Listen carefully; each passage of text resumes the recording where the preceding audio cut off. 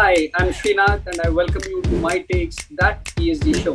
We will dive deeper along with the experts to figure out what lies ahead in this space. ESG is about investing in those businesses and companies which are governed properly. Will you marry your daughter with a crook or will you marry your son with a dishonest person?